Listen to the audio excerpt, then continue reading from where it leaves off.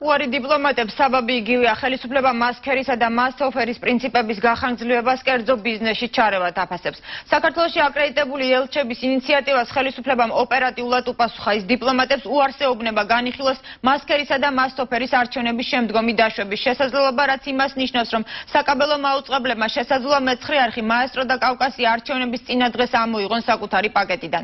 პარლამენტის მიერ მიღებული კანონით საკაბელო მაუწყებლებს არჩევნებამდე 60 დღით ადრე იმარხების საკუთარ პაკეტში ჩასმის ვალდებულება აქვთ, რომლებსაც დღემდე უარს ეუბნებოდნენ. ბადის გახანგრძლივებაზე საქართველოსში მყოფი თითქმის ყველა ელჩის რეკომენდაციას ხელისუფლებამ დღეს კატეგორიული უარით უპასუხა.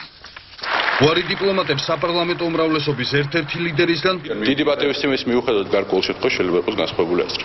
და უარი დიპლომატებს თავად საქართველოს პარლამენტის თავმჯდომარისგან. სახელმწიფო მუდმივად ვერ ჩაერევა კერძო ბიზნესის საკითხში.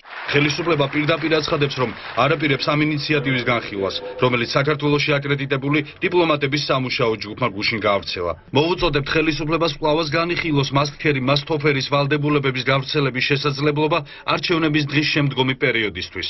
იმავე განცხადებაში დიპლომატები მიესალმებიან და უაღრესად პოზიტიურ ნაბიჯად აფასებენ ხელისუფლების გადაწყვეტილებას არჩევნებამდე ორი თვის განმავლობაში საკაბელო მაუწყებლებზე ყველა არხის ჩართვასთან დაკავშირებით.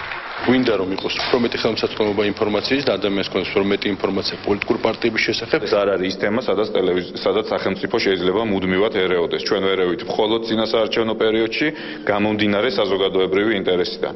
ახალი კანონით საკაბელო მაუწყებლები ვალდებულნი არიან არჩევნებამდე 60 დღით ჩართონ ყველა სატელევიზიო არხი, თუმცა ამ ვალდებულებაში არჩევნების დღე არ შედის, რაც ნიშნავს, რომ კავკასია მაესტრო ან მეცხრე არხი საკაბელო კომპანიებმა შესაძლოა არჩევნებამდე 24 საათით ადრე გამორთონ.